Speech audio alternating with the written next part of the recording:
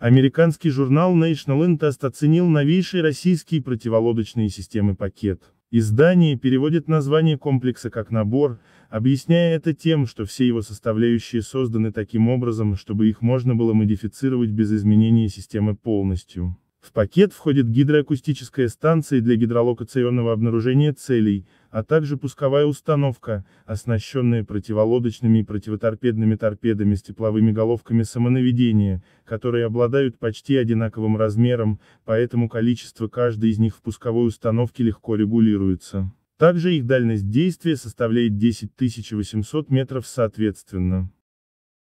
Издание подчеркивает, что универсальность и наступательно-оборонительные возможности пакета делают его уникальным, в мире нет аналогов, которые могли бы совместить одновременно противолодочную и противоторпедную защиту. Так, наиболее близка к нему американская система защиты надводных кораблей от торпед, которая также использует акустические датчики, и индийская противоторпедная система Марич, однако оба комплекса не подразумевают противолодочную защиту. По версии журнала, Пакеты уже установлены на пяти кораблях «Стерегущий», после чего могут оказаться на остальных восьми кораблях этого класса. В дальнейшем Россия может начать экспортировать комплексы.